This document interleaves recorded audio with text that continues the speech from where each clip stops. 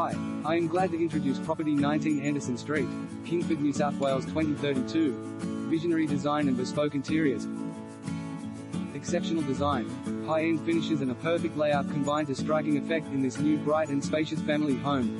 Every detail has been carefully considered and custom crafted, from the luxurious master retreat and dream kitchen to the outdoor living room and self-contained studio with a separate entrance, spread over two levels with a choice of living areas and adaptable layout. The two-story home is tucked away in a peaceful street surrounded by parkland, just a short walk away from the light rail, UNSW and Randwick hospitals, and with easy access to Westfield East Gardens, Maroubra and Coogee beaches, Sydney CBD and airport.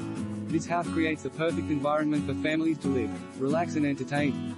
Stunning stone island kitchen with walk-in pantry and Miele appliances stylish designer bathrooms, Grohe tapware, underfloor heating spacious living and dining with bifolds opening out to the gardens all-weather terrace with outdoor kitchen and auto louver roof, blinds European oak floors and custom joinery throughout the house master suite with high ceilings,